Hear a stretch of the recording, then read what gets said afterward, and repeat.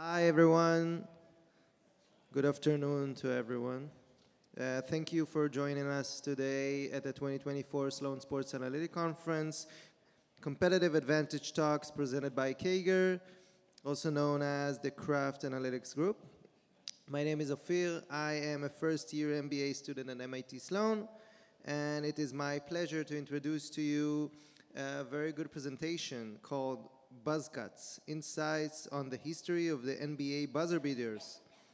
Please join me in welcoming Mike Lynch, Director of Data at Sports Reference, to the stage. Mike? Thank you.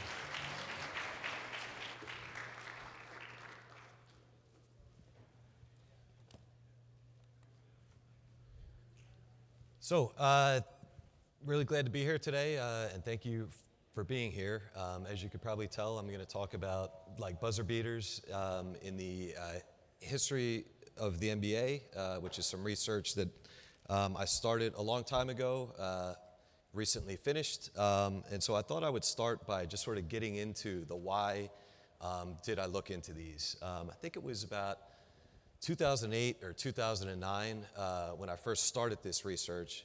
Uh, was working in the research department at uh, ESPN back then, and uh, a big part of the job was just to put things into context when they happened. Um, for the NBA specifically, there was nothing uh, that could happen that was bigger in a game than someone hitting a shot at the buzzer uh, to win the game. Uh, back then, a lot of it was Kobe. You know, he was a very popular player. If he ever did anything that was going to be on TV, and you wanted to put that into context, and there was basically nowhere to turn to find that information. Um, and so I decided, you know what, maybe I'll take a whack at trying to put the data in place uh, so that when these things happen, we can say, you know, um, this player has done this this many times. This hasn't happened since then. Um, and, and so um, started the work to put this in place. Uh, and first I had to figure out what exactly was I looking for. So it's kind of obvious, but like uh, when you're working on a set like this, you need to have hard rules in place about what exact shots you're looking for.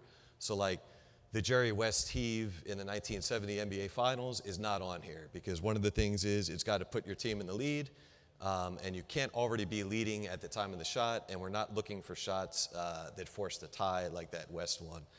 The other thing is that it has to truly end the game. Um, we're, not looking for shots that uh, give the other team a chance to throw the ball in and respond. So, like the Tim Duncan shot against the Lakers in 04 that left, what, 0.4 on the clock for Fisher. The Duncan shot is not a buzzer beater, but the Fisher shot is. Um, and then to build the data, so back in 08 or 09, what was available to me at the time was play by plays on ESPN.com that back then went back to the 02 03 season. Uh, the play by plays themselves were not sufficient uh, to build the data because a lot of times um, a shot in the play by play is listed as like the time that it's released rather than the time that is left after it comes through the net. And so would use the play by play on ESPN.com and then check video basically to see was this a real buzzer beater or was there a throw in afterwards and so it wasn't real. Um, and I sort of thought that back to 02 was about as far as I would ever get with it. Uh, several years later, I was working with Sports Reference, um, and I realized that this was the sort of thing that uh, our users would really like to see on Basketball-Reference.com. Um, OCR um, had made it so that these archives like newspapers.com and Genealogy Bank had like, you could from home uh, access hundreds of years of newspaper articles from all around the world, do like searches on like keywords uh, to find them. And so using our database, I could find every close game that was ever played, read newspaper stories on them, uh, and find out where these happened. Piece of cake, right? Uh, it only took about close to 10 more years uh, after that, but um, the tools were there that the work could be done. Um, and the data that I wanted to gather for all of these was I obviously wanted to know who the scorer was, wanted to know what the game situation was. Like, was the game tied at the time of the shot? Was the team losing? Was it by one or two? Uh, was it a two pointer, three pointer, free throw? Uh, wanted to try to get the shot distances, know if it was uh, scored on an assist, and if it was, who the passer was. Um, I'll add here, um, all of this can be done with play-by-play data uh, from the game itself back to 96, 97. Before that, those play-by-plays just aren't saved or uh, anywhere in the public realm. So I had to use my own judgment to determine things like shot distances, if it was assisted, um, and things like that. So uh, just wanted to note that. Um, the data issues that I ran into here fell into four main buckets. Uh, number one was uh, clock disputes. Figuring out what the shot distance was could be tricky. In one instance, I'm not sure who the shot maker was, um, and then to make the call on does this warrant crediting an assist to someone uh, was the fourth one. Um, so clock disputes, we have a great example of one. Um, December of 1946, the BAA, which is the forerunner to the NBA, is about a month old at this time. Um, I'll move on to another slide because this is probably really hard to read. Uh, but I wrote out what I thought was a really funny situation here that was uh, um, sort of showed the way that a lot of these games would end back in those days. So it reads Bob Faught, former Notre Dame basketball ace, saw only two minutes of action last night, but it was long enough for the rangy Clevelander to uncork a long field goal, which brought the Cleveland Rebels a 49 47 triumph over the Detroit Falcons in a spine tingling Basketball Association of America battle at the arena. Faught, who was sent into the contest when Leo Mogus, ex Youngstown College and National Professional League ace, was ousted on five personal fouls, fired a long shot from near midcourt to break a 47 47 deadlock with a minute and 10 seconds remaining and bring Cleveland its fourth victory in five home starts and six and 11 circuit clashes. Now, I'll note that the AP and the UPI say that there was 58 seconds left when this half court shot was fired. Uh, but, like, the point stands roughly a minute left in the game. Why is someone shooting from half court uh, in a tied game?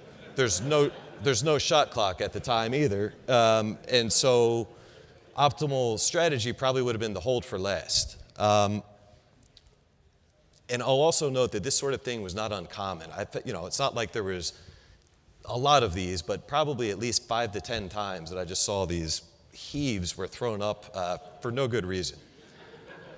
Um, here's a look at um, a nice picture from uh, the Rochester Democrat Chronicle in January of 1949. Andy Duncan is at the free throw line doing the granny free throw there. Uh, but I want to call your attention to um, the scoreboard that is over his head. You can see the score is 22 to 21. It's a little hard to make out, but there is an analog clock in between those two numbers. Um, and so move on to another slide, we can get a better look at, at something like that. This is 17 years later, game seven of the 1966 NBA Finals. The Celtics are 16 seconds away from their eighth straight title. This is at the old Boston Garden. Um, I don't know if you can make out this clock, but like what is going on there? How, how, are you supposed to know that there's 16 seconds left in a game from looking at that? Um, what the big numbers say is 0, 5, 10, 15, and then 0 again. And so it, it's sort of useful to note here that um, the origins of the league was people who owned hockey arenas were looking for more events that they could put in in these uh, ice rinks. And so they retrofitted uh, like uh, hockey gyms basically to play basketball in. Hockey, as you might know, counts up uh, to 20 minutes per period.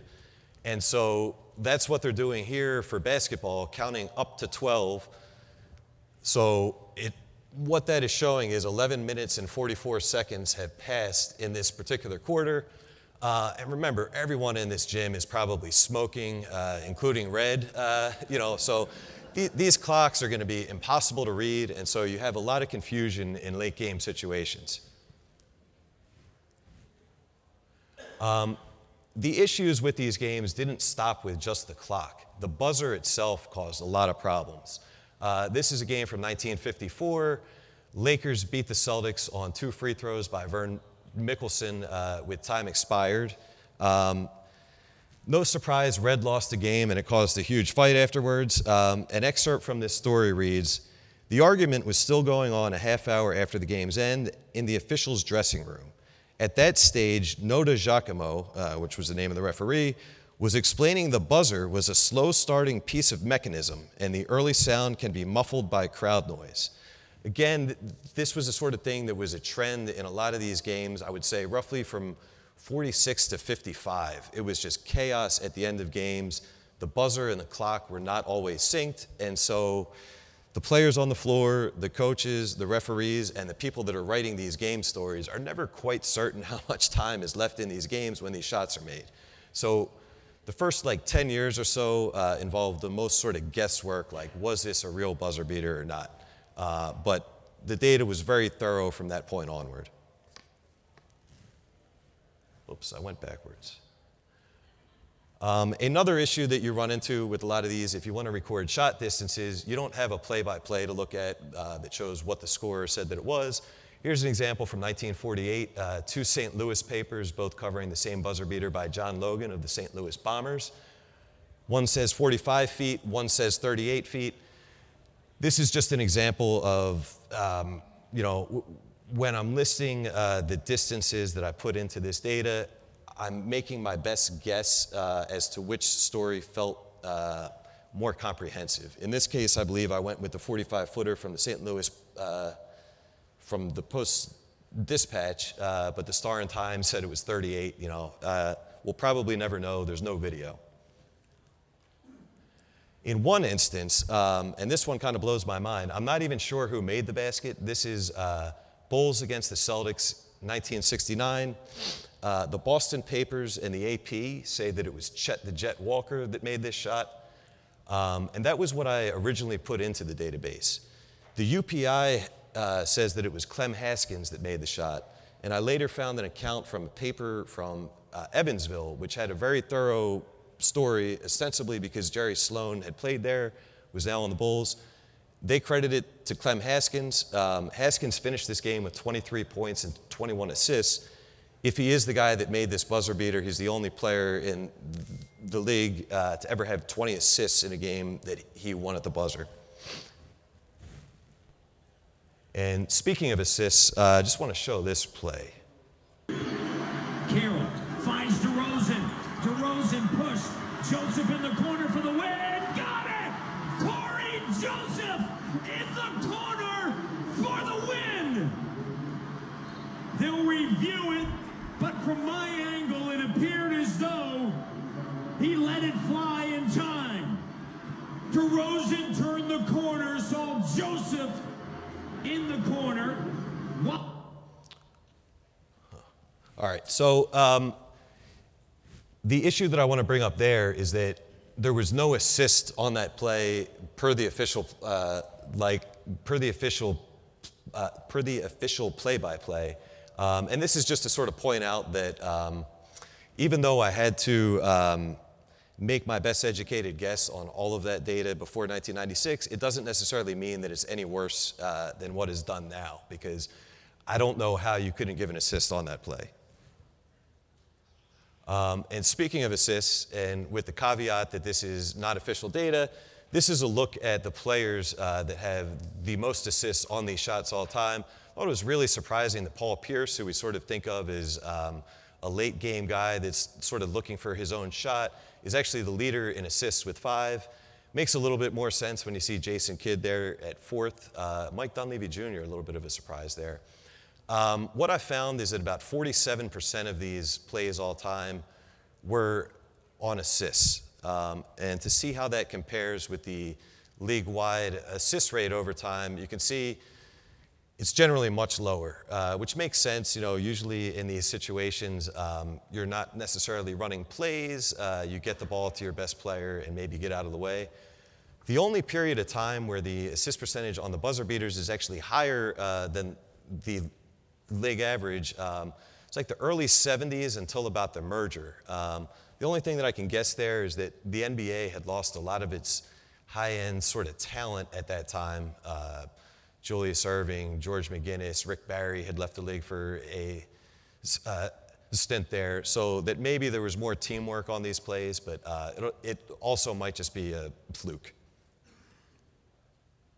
Uh, there's one kind of buzzer beater uh, where you can't possibly have an assist, and that's the game winning free throws with no time left on the clock.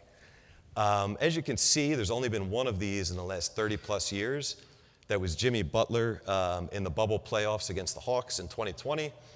Um, my hunch here is that they added the tenths of a second to clocks in the last minute of game in the 89-90 season. Um, oddly, there was two in the year right after that, but um, I, it just sort of feels like the specificity of clocks now combined with the fact that they look at everything on replay now makes it almost impossible for that play to happen, uh, which makes it crazy that that did happen uh, in the 2020 bubble. Um, sort of uh, some of my favorite uh, insights that I found when doing this research um, was things like the record, like most points that a player had in a game where they hit a buzzer beater. Um, I was really surprised by the answer here uh, that it was Fred Brown in 1974. Um, he's known as downtown Freddie Brown. One of those reasons is because he liked to shoot from great distance. Actually did this before the three-point shot. This was uh, that shot was still about five or six years away. Uh, this is the only time in his career that he even scored uh, like 50 points, too. You might have been surprised that that last leaderboard did not include uh, Jordan at the top.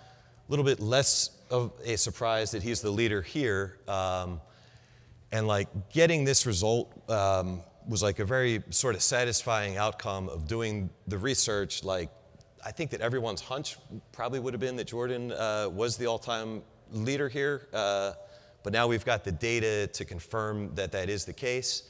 Um, you, know, you see Kobe and Joe Johnson tied for second with eight, LeBron and Pierce with seven, and then about a handful of guys with five. One of the weird things here is almost all of these are pretty recent names, right? Like the oldest players on this list are Jordan and Stockton. There's no one that came into the league before 1984. Um, why is that? We see at the time of Jordan's first retirement in 93, no one had more than four. Um, Jordan was one of those names. Kind of surprising that five out of Jordan's nine came after that first retirement, because that represents like not anywhere near half of his career games played. Um, I'll note that if you include ABA data, which I did sort of separate research on that, as of 93, the leaders would have been Cliff Hagan, who had one more in that league to give him five, along with Barry and Erving, uh, three way tie with five each. Um, was this because there just wasn't many buzzer beaters before the more recent era? Again, that's not really the case. You can see the rate of buzzer beaters per games played over time has been all over the map. Um, very strange to me that the two peaks here are the year that they introduced the shot clock and the year that they introduced the three point shot. Um, neither of them had any sort of staying power, though. So, like, I don't think that they move things in a meaningful way. It's just, um, it seems like a crazy coincidence that right at the time of two huge changes, that you all of a sudden have all of these games that end at the buzzer. I want to point out one other thing here. Um, I list uh, the Trent Tucker rule there in 1991. If you're not sure what that is, I'm going to play another video here.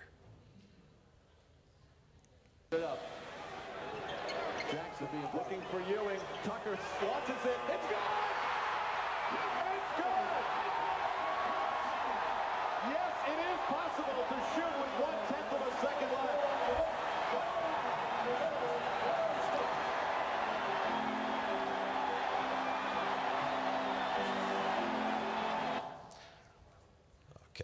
So um, the Trent Tucker rule was inspired by this play. It was a shot uh, that Trent Tucker made, Madison Square Garden, 1990, against the Bulls. They throw the ball in, there's 0.1 left in the game, and he takes a three pointer to win the game. The Bulls were not happy about that. Um, they complained. The shot did end up, uh, they did count it, but they changed the rule uh, afterwards. That's why every time, you know, when you're watching a game and there's less than 0.3 left, they may say, you know, you can't shoot the ball. Um, it's because of this play. Also, note that Michael Jordan was underneath the hoop watching that thing go through. Uh, let's fast forward to 16 years later, also at Madison Square Garden. The only thing the Knicks can do is an alley oop to the hoop, and that would be Eddie Curry.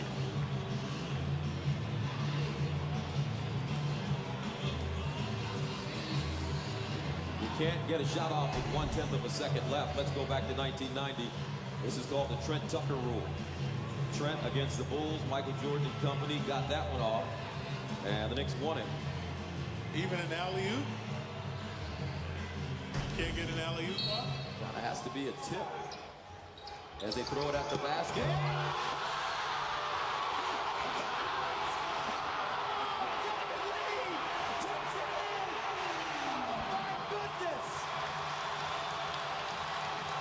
So, as we were talking, we mentioned that an alley-oop can't go one-tenth of a second.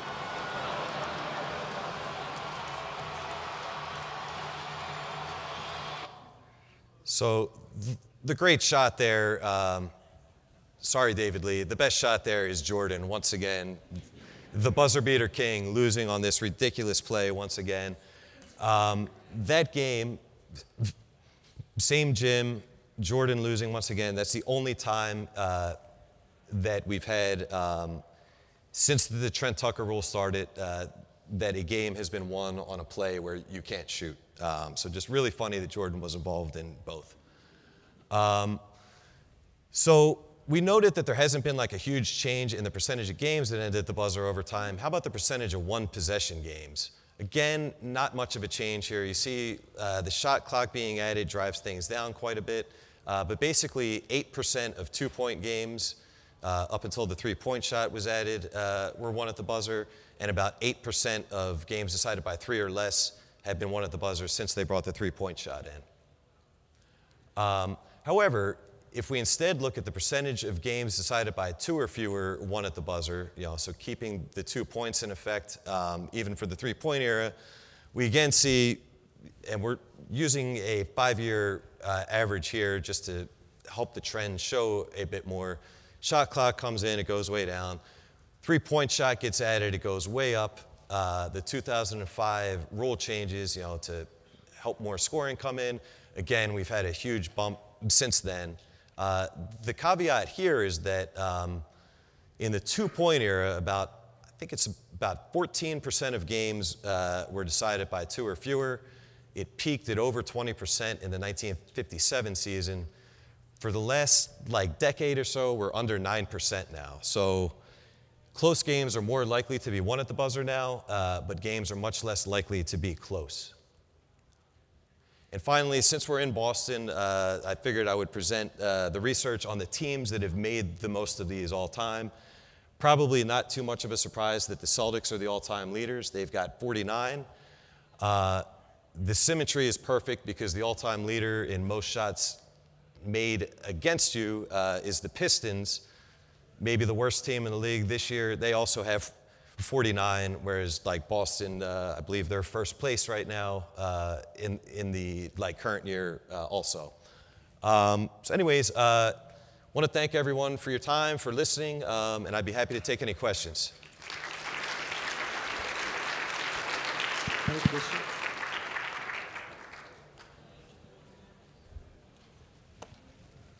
Hi, I saw in one of your graphics uh, marked the uh, when they Ah, when they uh, put the rule in where you could advance the ball after a late game timeout. Yeah. But that it didn't show very much change after that. Is there any particular reason why it didn't seem like that was affecting the amount of buzzer beaters? I uh, so?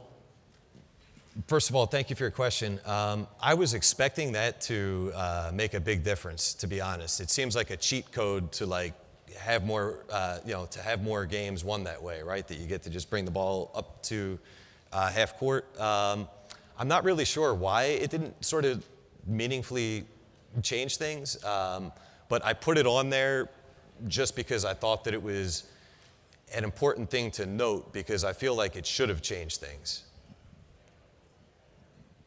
For starters, thank you so much for taking the time to talk with us, uh, right side of the room. Oh, thank you. Uh, just out of curiosity, what was the reasoning to not look at buzzer beaters that sent the game into overtime or second overtime, anything that tied the game?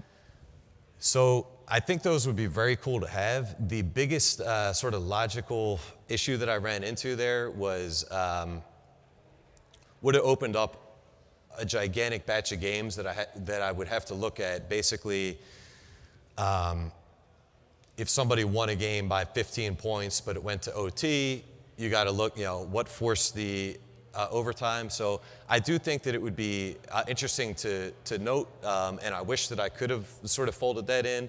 They're also probably a little bit less important because they don't end up sort of winning a, you know, like you don't necessarily win those games, uh, although, although you could. Um, but I do agree that that would be great information. Thank you. Hey, Mike, thanks for coming. This is a really cool data presentation. Really appreciate it. Uh, thank you. There, is there more follow-up research you want to do to this, or are you just done thinking about buzzer beaters for now? Um, yeah, so at, I'm working on a, a, few buzzer beater related things. Um, I, I also did buzzer beaters for the ABA, uh, for the men's NCAA tournament. I recently finished for the women's NCAA tournament. Uh, we have not yet published that. Um, the other thing that I'm working on is I want to get all of the uh, shots in the last five seconds. Um, I think I have finished like 1947 through 1955 or so, but it, it's going to take a long time. Uh, but maybe one, like I think that would be a great data set to have also.